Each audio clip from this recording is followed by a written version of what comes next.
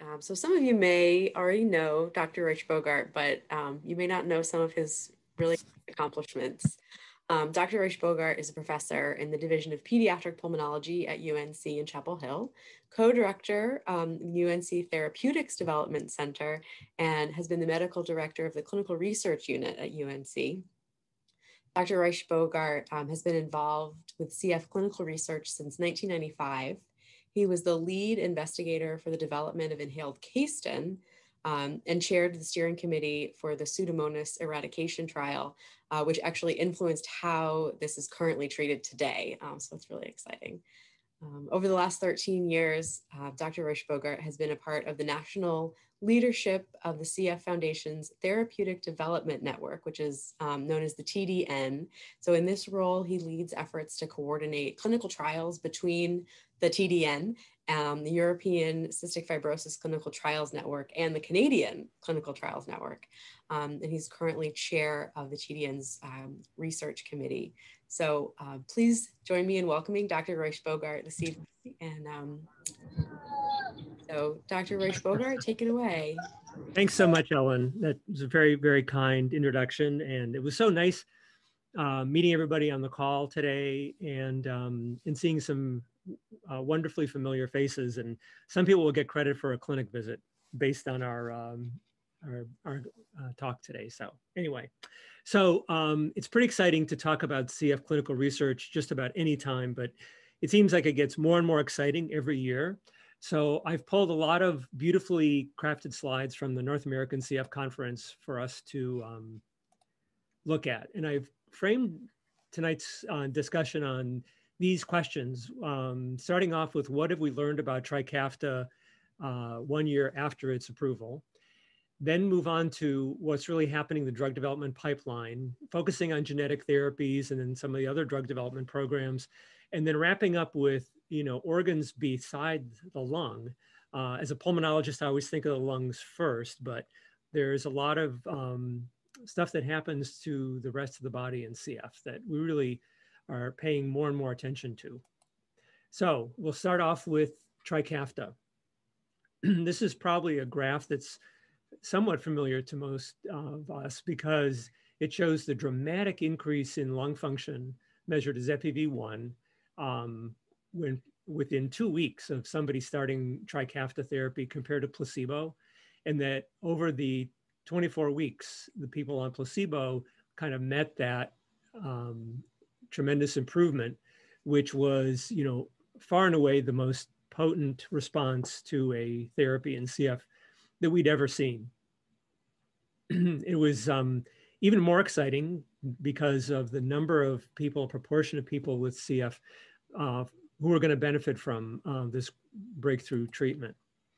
And it also set the bar uh, in this slide for how we think about how do we compare any new treatment, uh, especially treatments that get at the underlying defect of CF in terms of how much improvement in lung function and how much of a movement toward normal in the sweat chloride uh, we would expect to see. So you can see here in purple uh, for Trikafta, about 14% uh, for those with one or two copies of the F508 mutation.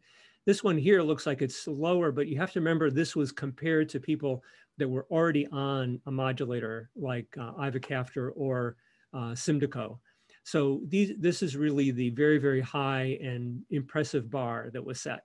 And corresponding to that were these dramatic improvements in sweat chloride, which really reflected how physiologically this small molecule combination was able to normalize the transport of salt and water, not just in the lung, but in the sweat gland and very likely many other key organs. So at the end of last year, 90% um, of the population eligible to receive this highly effective therapy um, had an amazing drug. And that required one copy of F508 um, to see that effect. So not only was it important to you know, get the drug approved and out to all of our patients, um, we also structured with the support of the foundation what was called the PROMISE study, which was a way to look at many of the other organ systems that were really important to us as clinicians and people with CF Um, so that beyond lung function, we were interested in what happened with infection and lung inflammation. How did it affect the digestive tract? What happened to uh, growth and some of the endocrine issues such as diabetes um, that really also are important uh, long term. So the PROMISE study started giving us some information very, very quickly. This uh, slide shows on the left the proportion of people that had Pseudomonas aeruginosa in their respiratory cultures that a third of them within a short period of time became culture negative for Pseudomonas, which was again an unexpected and dramatic um, improvement, which get, reflected how effectively this drug was able to clear secretions that in the past would just stay fairly stay, um, static in the lung. Uh, not the, the same effect was not really seen for Staph aureus, in part because there's so many other reservoirs in the body, the throat, the nose, uh, and sinuses where staph uh, can persist. But the, the uh, response to clearing Pseudomonas was really um, wonderful. Um, one other aspect that has been reported out, and the PROMISE study is still ongoing because of the pandemic. Um, we are continuing to gather information. So this is really a two-year study, but some of the information came out rather quickly. So this is a, a technique called uh, measuring mucociliary clearance in which the person inhales tiny radiolabeled particles that then deposit on the surface of the bronchial tree, and then they sit in front of a camera that will then track the movement of the particles up and out of the uh, airways of the lung. And this showed that at baseline, um, there was a very um, slow rate of clearance over um, an hour and a half, and that after treatment, the rate of clearance improved dramatically. Uh, and this was an effect that was seen uh, in ivacaftor or kalydeco and trikafta, but actually could not be demonstrated with either Orkambi. Uh, and I don't think I don't think they saw it with Symdeko either. The other thing that was being done in this study was to look at the actual respiratory secretions. And what they found, since we know that hydration of the airways is really an important part of what is important for lung defense and is one of the things that breaks down in people with CF, the, the percent of solids in the secretions uh, at baseline were fairly high in this range.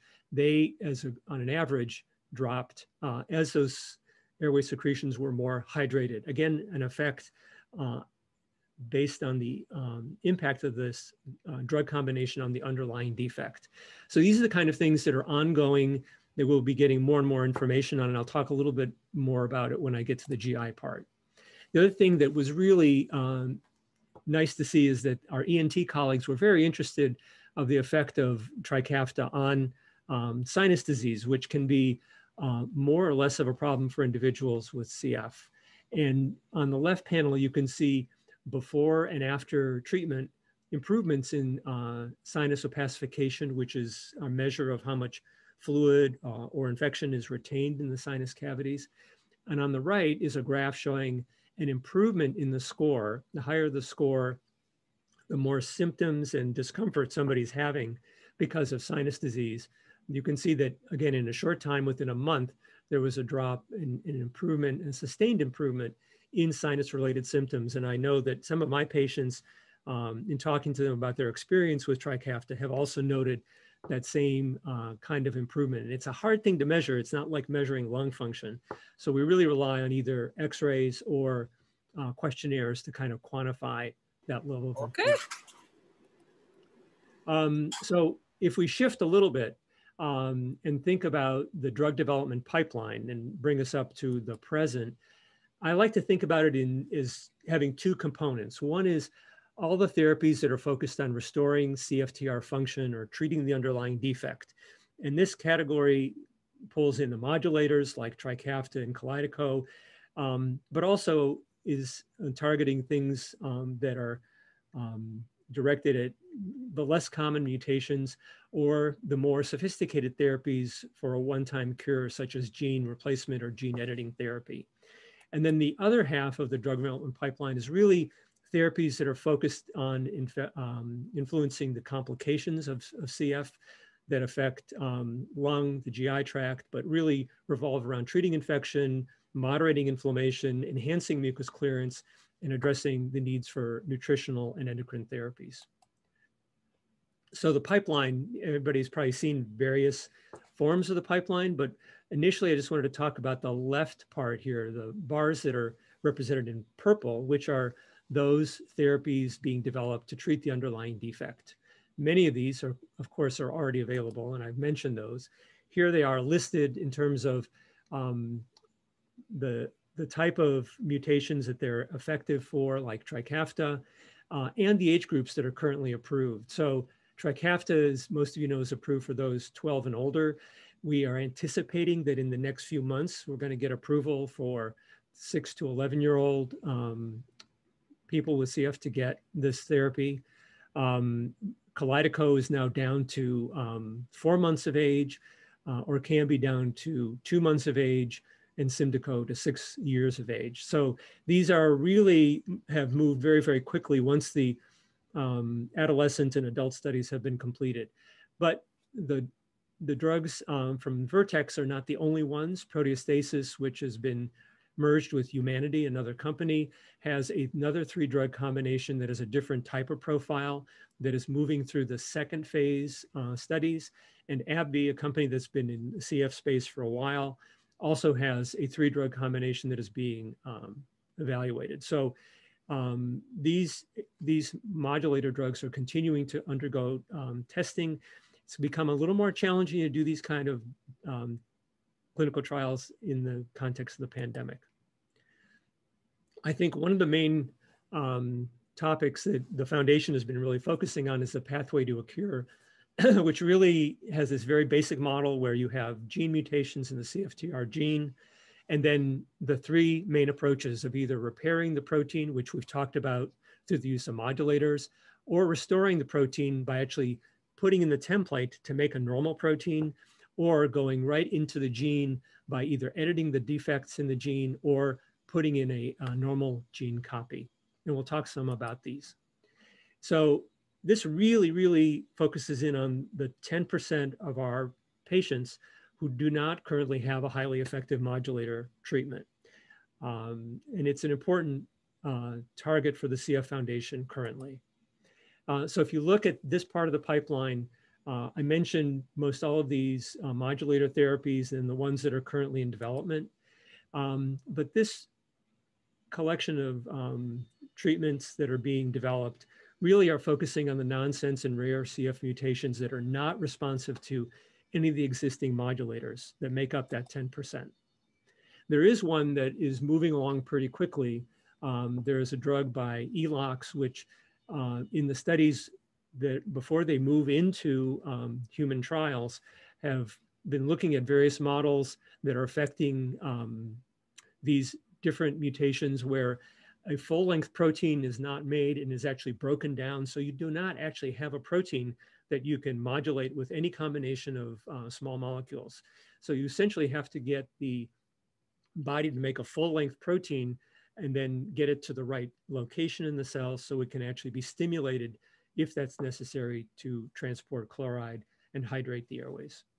So it's pretty exciting that this compound and this group is, is moving forward and has already shown that there is um, um, some efficacy in this profile of mutations. So that's good news. Um, in, for a very long time, uh, CF was really thought to be the real, a real great candidate for uh, gene therapy because back in 1989, we discovered the CFTR gene. Um, the problem was that it was one of the first genetic defects that everybody was trying to get gene therapy to work.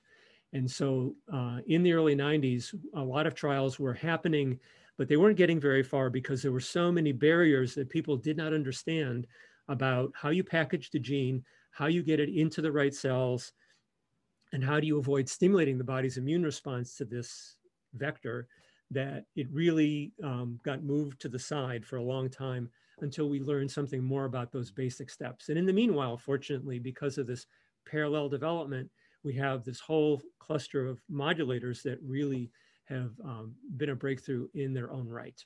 So the issues for really doing successful gene therapy are the gene is very large and you have to package this into some kind of container to get into the right cell types. Uh, and you got to get it across the barriers in the lung. And, and most importantly, it's likely you're going to have to give it more than once. And as we know from the recent work around vaccines, you give a vaccine to stimulate the body's immune response. The body's very good at generating immune responses to foreign things. What would need to happen in CF gene therapy is that the body would accept this and you would not generate a huge immune response because if they saw that vector again, the, the body would uh, immediately attack it and would not let it get in. So to summarize, we have the CFTR mutation, we have the options of gene transfer, gene editing, and actually putting in RNA, which is a template to make normal protein. And these really cluster in that whole concept of a curative therapy uh, that would be potential for everyone, perhaps even as a one-time cure. So to talk a little bit more about the, the treatments that are currently uh, moving along, um, using a package such as a virus um, can be really, really effective. But I mentioned that you really have to deal with the body's immune response to these virus vectors because the body recognizes them and will um, block their uh, return. You're essentially going to be immunizing people to that virus vector unless you have modified it in a way that it becomes acceptable. The alternative to that is to package it into a, um, a globule of, of lipid or fat that forms a nice sphere and you can use that inner ch in chamber um, to package something like the messenger RNA that is much smaller than a whole gene that could then be used to make a, a copy of a uh, full-length functioning CFTR protein. Fortunately, these do not trigger immune response. Um, they require repeated dosing because it's not integrated into the body cells. So this would really have to be repeated dosing, similar to what we do with pills.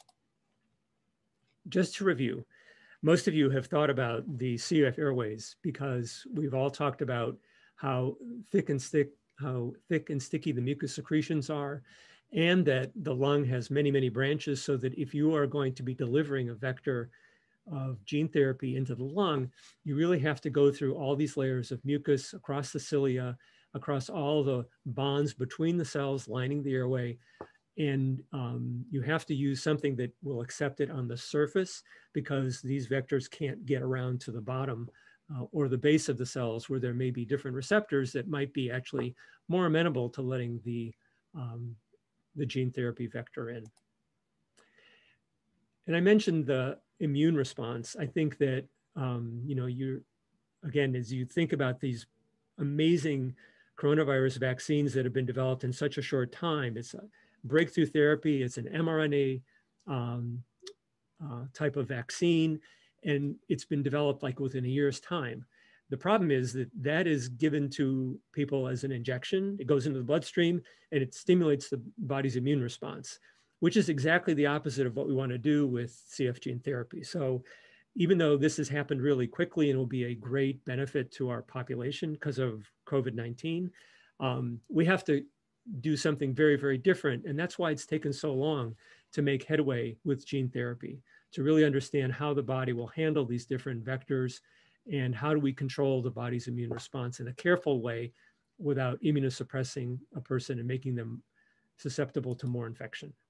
So this is a timeline in the past year of what's been happening funded by the CF Foundation. And the foundation realized a long time ago that if you um, bring the best scientists together with a magnet of sufficient funding to get them to collaborate and, and you know, make the breakthroughs that are necessary to move along a therapy, um, you end up with a successful program. But a lot of times it's going to mean a lot of meetings with a lot of companies and uh, eventually the best ideas will filter out because those ideas are reviewed critically by the best scientists uh, that the foundation has put together. But there's been $34 million already committed to these kind of programs. Uh, and that, that is a really uh, important magnet to pull in very, very serious cutting edge science. So this is very quick summary of all the things that are going on with regard to CFTR restoration, the gene delivery, gene editing, which is another breakthrough. And I wasn't going to talk any more about it, but I think everybody's heard the word CRISPR, and uh, it, it is still uh, quite a ways off, at least for CF. Some other disease groups have, have undertaken some successful trials with this. The other thing that is important is to know that we need animal models to really be able to test some of these things before we ever are comfortable um, giving some of these agents to a person with CF. Um, so that a lot of this really depends on building the full package, not just the right vector or the gene sequence. You really need to have a, a really robust model to be able to test these to look at safety and effectiveness. Um, there are a number of companies that are making good progress. They're listed here, and you can read more about them at the CF Foundation website. Um, but they have different approaches of adeno-associated virus or a lentivirus, which incorporates into that host cell DNA.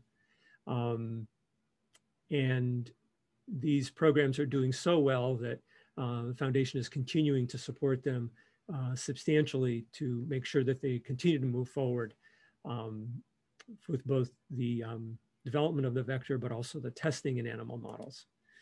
Um, so the, the barriers, I've kind of alluded to them. We really need to deliver this DNA package of the gene that we have to know how long is it going to last? How are we going to get it to somebody? And what, what is the packaging we need? And then the other part of this too is we have to know which organs are going to be accepted uh, acceptable for the vector to get into. Um, drugs like Trikafta get to every cell in the body. But if we're giving somebody um, gene therapy inhaled, that means it's mainly going to go to the lung. And a lot of the other organs affected by CF uh, will not be uh, improved unless we can find something that is a vector that can be injected, carried by the bloodstream, and would get into the organs much the same way that Trikafta is carried uh, in the bloodstream to, the, or, to all the cells that um, need it. I mentioned the importance of um, modifying the, the body's immune response. Um, people are actually carefully modifying uh, immunity to some of these uh, adeno-associated viruses uh, to make sure that uh, it's a, a, good balance between allowing the virus in, but not uh, making somebody um, immunosuppressed. And then a lot of really, really breakthrough work is going on. And I can't really describe this, but you can see this colorful diagram, which highlights how precisely some of these vectors can be uh, designed to target individual cell types in the airway to make sure that the gene therapy uh, agent gets right to the cell type that is um, uh, that transports the most chloride so that it is uh, correcting the right cells. So the future for these gene therapies is that all these therapies are going to be moving forward at the same time, uh, rather than seeing how one does, and then if that doesn't work, we'll take another one. They're really moving in parallel to find the most effective and safest uh, combination, and uh, a type of gene therapy or um, genetic therapy that can give them more than once because that's going to be required. I mentioned the animal models that are going to need to be uh, used to predict effectiveness before these are translated into the first trials in people with CF. And finally, the same kind of animal models to look at how do you modulate the immune response to make sure that if somebody enters in a trial that they aren't essentially immunized from ever getting any subsequent doses of the vaccine of the um, of the gene therapy and not not unintentionally vaccinating them against any future treatments. The CF Foundation website, hopefully most of you have gone there. Under the research tab, you can read more about restoring CFTR function, the treatments for nonsense and rare mutations, gene therapy for CF, and the uh, ways that gene delivery is being exam um, evaluated. And finally, some of the breakthrough work around stem cells, which um, is also an exciting area that uh, holds promise um, and perhaps if we can find a way to treat stem cells and then deliver those, those cells will continue to reproduce and may um, eliminate the need for repeated courses of gene therapy since they will give rise to all the cells that are needed in the lung. So going back to the pipeline, on the far right are the categories of treatments that really manage the complications of CF. I wanted to focus a bit of time on these. So under anti-infectives, I think everybody is pretty familiar with the importance of effective antibiotics, both uh, IV, oral, and inhaled that have really um, brought us really great um, improvements in quality of life for um, people with CF. But there are a number that are um, under development that are not available yet. And some of these are really novel kinds of treatments. um, the more antibiotics you get, the more likely you're going to have resistant organisms. And so one of the ways of getting around resistance in a bacteria is to use something that messes up the metabolism of uh, the bacteria. So gallium is similar to iron. And if you can deliver gallium uh, to the airways of a patient, you can actually get the bacteria to start breaking down because they can't reproduce and survive uh, without sufficient amount of iron. Another strategy is to actually use bacteriophages, which are viruses that are um, present throughout the environment, and their main target are bacteria, and they really will latch onto the bacteria and break the bacteria down so that there have been amazing case reports to date of some patients who've had severe infections with CF and have been treated with bacteriophages that have gotten those infections under control. And so this is something that is being evaluated by um, investigators funded by the foundation as well as companies. Um, another uh, approach for somebody with more severe infection is actually inhaling a gas, nitric oxide, that can also uh, kill bacteria. Um, some bacteria form um, biofilms, which are a protective coating around the colonies that uh, they form in the lung. If you can break down the biofilm, it makes the antibiotics that we use penetrate into the um, bacteria much more effectively. So some companies, Inspira, are working on a way to break down biofilms in a safe way.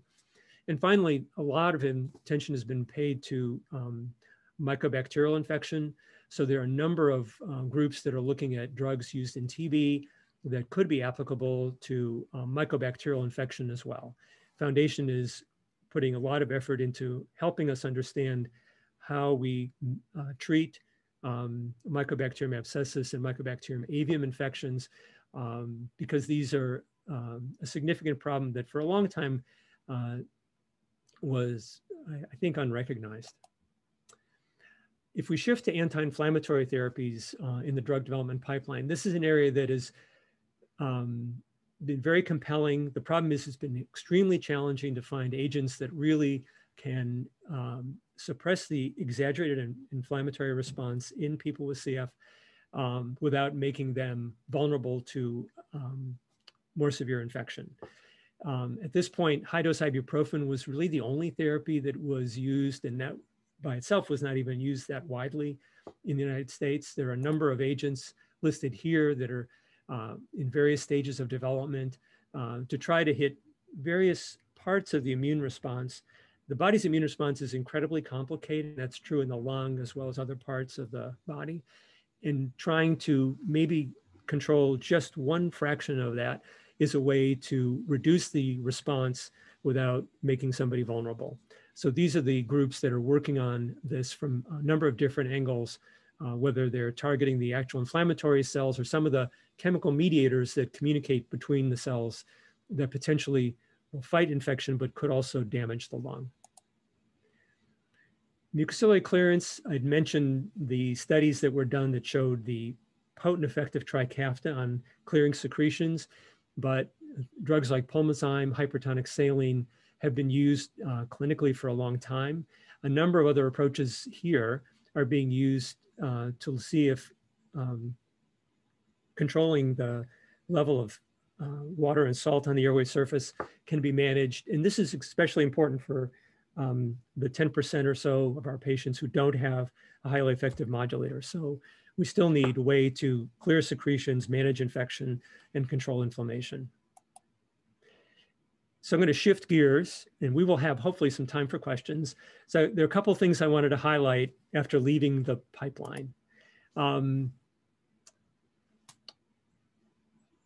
a big question for any parents of young children and those especially who have had a new diagnosis of CF is how soon will we get a modulator? Because we hear these modulators are really amazing. So Bonnie Ramsey, who founded the Therapeutics Development Network um, more than 20 years ago, has um, led the effort to set up a study called Begin, in which um, children under the age of six who are going to receive these highly effective modulators are going to be tracked very, very carefully to look at all organ systems, um, lung, GI tract growth, um, and then uh, lung infection, acquisition of new uh, bacteria. And so the reason this is not happening for those 6 to 11 is because we anticipate that the, the approval is around the corner. So this is a chance to actually track from very, very early age the effects of um, how kids are doing at baseline and the impact that a highly effective modulator has in this very young age group, which is quite different um, from adults with CF who are taking the same drug. So we really need to look at all the organs that could be affected, but also uh, very carefully track the safety in the event that some of these potent drugs may have an effect that ha- uh, on a growing child that was not anticipated or seen in somebody who was more physically mature. A big question that's come up is, you know, what is Trikafta or what are these drugs doing to the GI tract? And that was a hard thing to predict because we all grew, I guess I grew up knowing that most of our patients had lost pancreatic function by the time they were born. So we never expected that people will have potential for recovering pancreatic function. And so the graphs on the right show some of the data that's been collected in that um, there have been increasing number of young children who have been on Orkambi or Kalydeco, or, and we anticipate it's going to be true for Trikafta, who will regain pancreatic function. And what is likely happening is similar to what's happening in the lung in that some of the healthy lung or healthy pancreatic tissue that's been plugged up with mucus secretions, secretions are cleared, the enzymes can be released, and instead of damaging and scarring the pancreas, they are now entering the digestive tract and um, doing their job of breaking down food rather than breaking down the pancreas. So this is a very exciting thing in that we are now looking at the possibility of reversibility a lot of a lot of things that we once thought could not be uh, improved. So this is why this, a study like BEGIN is so important um, as we continue to gather this information. The other thing that is speculated is that perhaps um, if we can do um, a lot of preservation of pancreatic function, we may reduce the incidence of CF-related diabetes in adults. And we know that this, um, the diabetes is a, a, problem with increasing age of people with CF. So it is quite logical to assume if you can stop the scarring of the pancreas, you may preserve the islet cells that make insulin and therefore um, have a lower rate of diabetes in adulthood. So that's also um, a very exciting possibility. One thing that the foundation has done for a while is really try to get more and more gastroenterologists interested in, in being part of the CF care team and developing expertise because a lot of problems that um, we know about are related to the GI tract. It's not all about the lungs. So the first study that this group did was called the Galaxy study. And the way the study rolled out and was enrolled reflects the high level of interest in answering a lot of questions related to the GI tract. We've never seen a study that from start to full enrollment was done in four months. Usually, you know, getting a study done in a year is amazing, but in four months, um, we had the study, the, the, leaders of the study had the study enrolled and began um, evaluating the questionnaires that they were using. And the questionnaires were important because they reflected the current um, prevalence of GI symptoms. Uh, and the most common ones were bloating, abdominal distension, or a sense of fullness uh, after meals. And these are things that pulmonologists hear about, but we are not necessarily the best in uh, terms of understanding the best next step, uh, other than making small tweaks in pancreatic enzymes or considering anti-antacid therapy. Um, I think having GI colleagues actively involved in this is really going to continue to improve outcomes. So this is all, the entire GI perspective is rolled into the PROMISE study that I mentioned earlier, looking at pancreatic function, looking at the, um, the bacterial load in the gut, um, growth, um, inf actually intestinal inflammation, effects on the liver, um, and actually the motility of the GI tract, which may um, be responsible for a number of the things which are um, leading to symptoms that at least half of our patients find bothersome. Um, the one other thing that um, to me is really exciting is that uh, we've discovered that women on Trikafta um, are much more fertile than they or um, maybe the sponsors of the drug studies ever imagined. So this graph shows the rising number of pregnancies um, over the last, um, I guess it's not evenly divided, but um, clearly there's an increase in the number of pregnancies reported. Uh, and this is likely to continue to get even greater.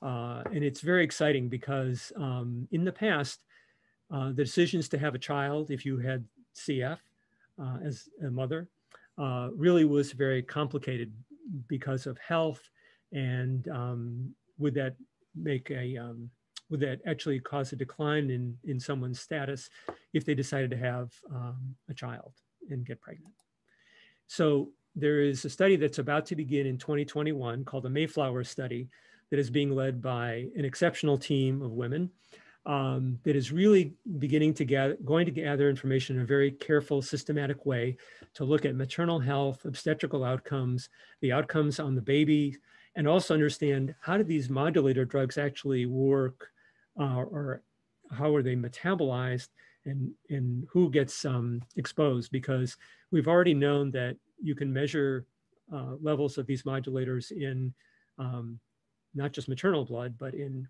uh, cord blood. So it's crossing the placenta in uh, breast milk. Um, and so we really need to understand how best to advise our patients um, in issues around pregnancy. Do you stay on a modulator? Do you have to come off a modulator? And what are the pros and cons of each of those things? And the only way to really provide adequate guidance is to study it.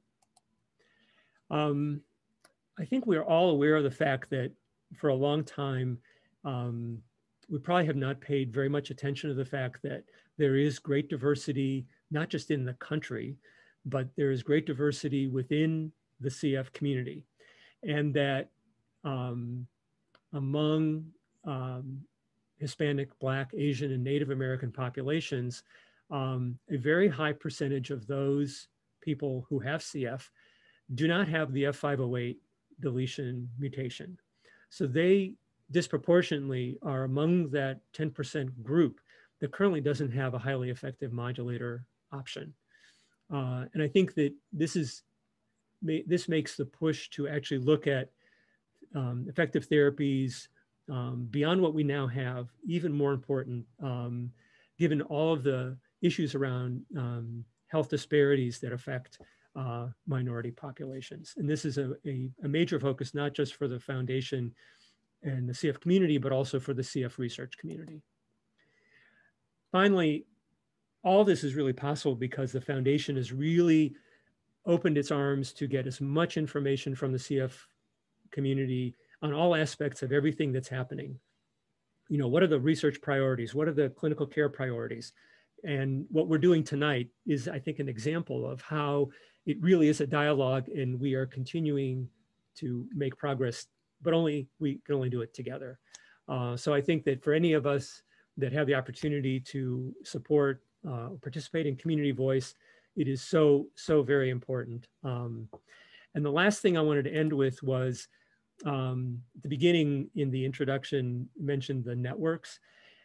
Because we have a lot of work to do and we have partnerships in uh, CF communities in Europe and Canada, hopefully we're going to partner with Australia and New Zealand. Um, when we are looking to get breakthrough therapies for the last 10%, we really will need a global approach to get um, clear answers as to what therapies are really uh, effective um, and as more and more people are on highly effective modulators, it may become more difficult for them because of busy families, careers, school, to take time off to be in a, a, a research study. So um, getting the research done will remain important, but we have to, again, broaden our circle to um, make research opportunities open to as many as possible to get the answers we need because there's a lot of work to do. And based on how far we've come, uh, I can only be tremendously optimistic about how far we're going to get together. So um, I'm happy to answer any questions um, if there's time.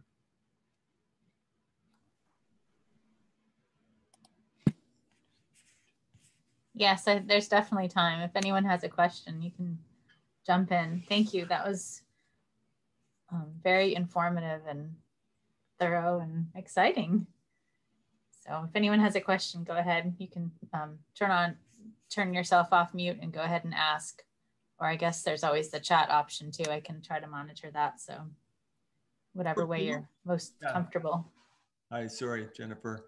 Uh, George, can you just talk a little bit more about the ELX02, that new um, drug or whatever it is that's coming out? Um, you touched on that, but it was just fairly quickly. Yes. So. Well, it's um, you know the the basic issue for um, somebody who has a stop mutation, or sometimes called nonsense mutation, is that the protein um, isn't full length. For many mutations, there's a, a, variation in the way the protein is organized, and so it has the wrong shape or uh, doesn't get to the surface. Here, the protein is too short and essentially goes into the wastebasket of the cell. And so the the um, strategies have been to try to find some way to jump over that stop signal that makes the short protein.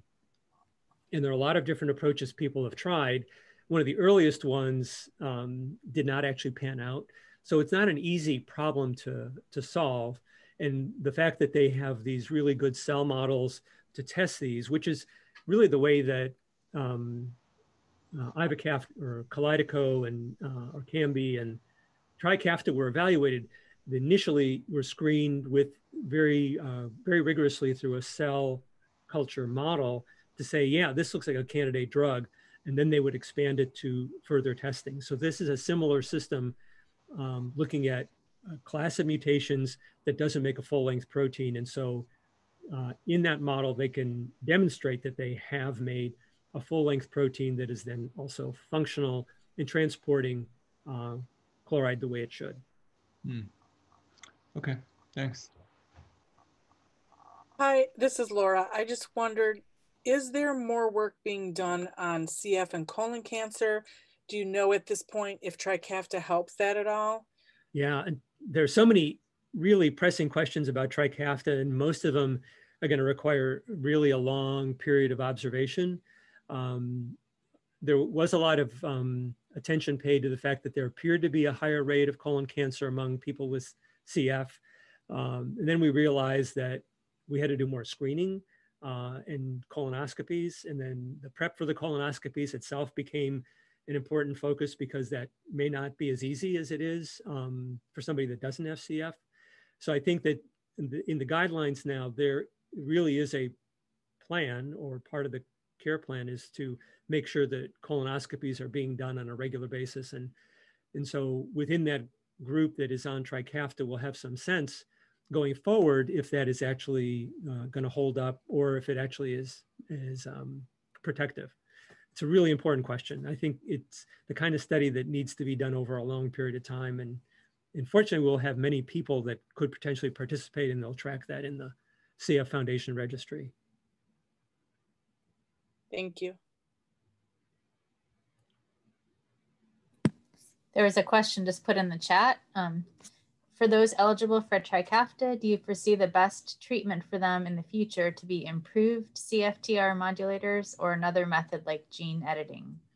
Um, yeah, it's, um,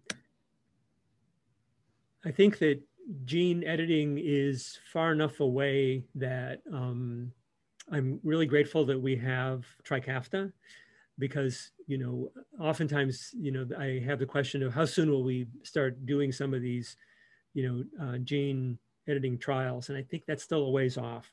I think that like putting in a, um, a normal copy of the CF gene, um, packaging the uh, CRISPR to get into the right cells to fix the defective gene um, segment, it, it's going to be a, a packaging and a, a, delivery problem. And so even though there's a tremendous amount of work at, going on, I think for now, I think most people that have Trikafta available um, are likely to kind of focus on that as being their mainstay and then figuring out, um, and, and this is something that's being tested through the Simplify study, what other treatments do they still need to use? Um, they still need to use hypertonic saline because it's doing a similar thing, um, but longer.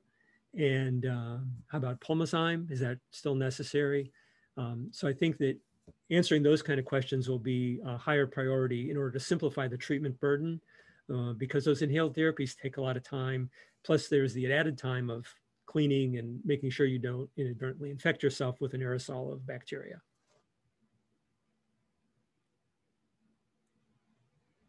And isn't it aren't therapies it, it's different now right? If you take trikafta they're still having you do your same therapies but you may not have to for forever.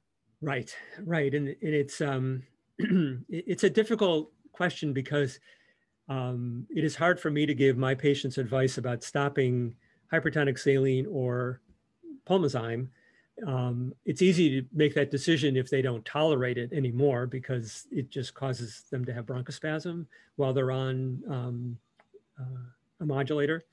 But um, I think that someone may actually have an area of the lung that is more affected, and that area still will benefit from, um, let's say, pulmozyme in clearing secretions, um, whereas the rest of the lung will continue to benefit from Trikafta. So those kind of um, I guess, fine tuning or tailoring therapy questions are going to be very important. It'll be, I think, better for us to make recommendations as clinicians once we have some data about what happens when you stop one of these treatments for somebody who's stable. Um, do they maintain their lung function or do they have, you know, a worsening in lung function or do they have an exacerbation? And actually studying that is, is probably the best way, the safest way, uh, rather than everybody throwing off their meds and saying, okay, we're done you know, I'm just going to take my pills and, and that's it. So I'm sure some people have done that. Uh, it's probably not the best choice. Um, so I, I think more, inf more information is better in making decisions like that.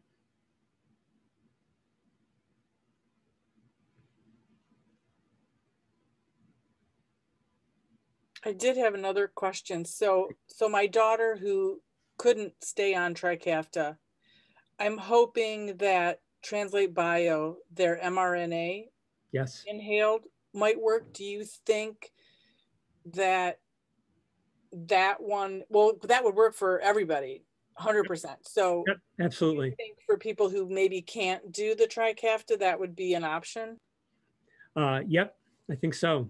I think so. And it's, you know, it, and I, I don't know what the numbers are offhand of what percentage of our population eligible for Trikafta actually doesn't tolerate it, but um, I think you bring up an excellent point in that we have to make sure that that percentage, that that small group is included in the priority for finding, you know, what is the next best thing uh, for someone that can't tolerate it. But I think the Translate Bio approach is really excellent.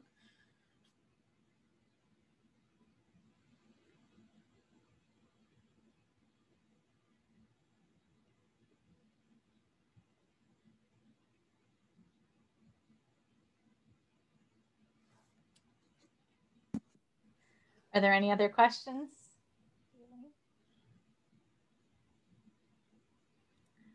So I guess. Oh, hold on. I just have one more quick one. Yeah.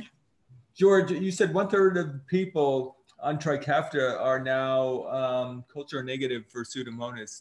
Um, so was that just a preliminary finding? Do you expect that number to go up or go down, or do you think that's where we are? We're at one third. Yeah, I think there um, in the PROMISE study that you know, was the way that data was generated, there will continue to be uh, um, cultures collected at regular intervals over a two-year period or maybe longer. Uh, and that'll give us a sense of, you know, um, are some people clearing Pseudomonas, uh, but taking them longer than that short interval that we had data for that I showed on that graph. Um, The biggest problem though is that if you get on Trikafta, you have less cough, less sputum production. So therefore, getting good samples from lower airway secretions becomes increasingly challenging because the drug is so beneficial. So um, that's going to make the interpretation of the data a bit more challenging. Um, and, and the investigators running that study are going to have to figure out how they're going to end up reporting it. Um, I think that sputum induction is a way of you know getting around the fact that somebody may not spontaneously bring up sputum in the morning or in clinic uh, so that that may be one way around it. Sputum induction is hard to do in during the pandemic because it's an aerosol generating procedure. In some places you can't do that because it's considered to be too high a risk. So okay. but it's an excellent question. All right, thanks uh, I was interested in your uh, discussion of the, the damage to the pancreas.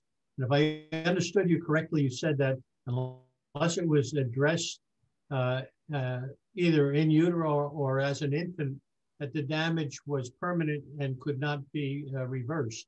Is that true? Well, we used to think that if somebody was born and had poor pancreatic function, um, that it's unlikely that that would ever get better. And so I, I think that it was sort of surprising uh, when uh, infants that had a low, what we measure clinically as a fecal elastase, uh, they were on therapy for a period of time. It was rechecked and actually the level went up. Um, so there is some reversibility in the pancreatic damage that may be present at, um, at birth um, but only if you can institute treatment early enough. Uh, so I think it's unlikely that somebody who's 21 and gets on Trikafta will have recovery of pancreatic function.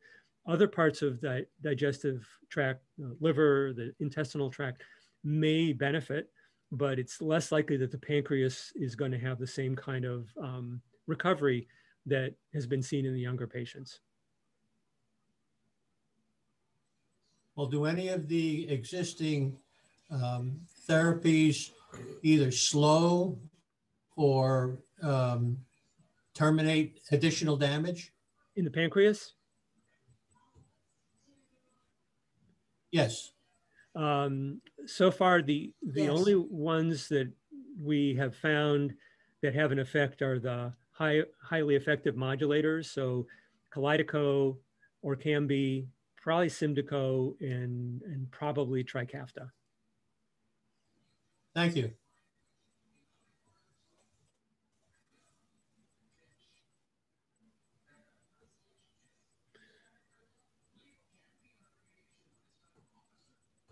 Well, you've been a great audience. I I covered a lot of territory as I usually do, probably more than you wanted to see, but I um, I think it hopefully gave some a chance to hear what was presented at the North American meeting if they couldn't, you know, observe. And um, as always, I think any of our CF clinicians and care team members welcome all your questions if things come up. Um, you can always forward an email through whomever you know, uh, and I can give you my best answer. Or find somebody who can. Thank you very much for presenting this evening, Dr. Retsch-Bogart.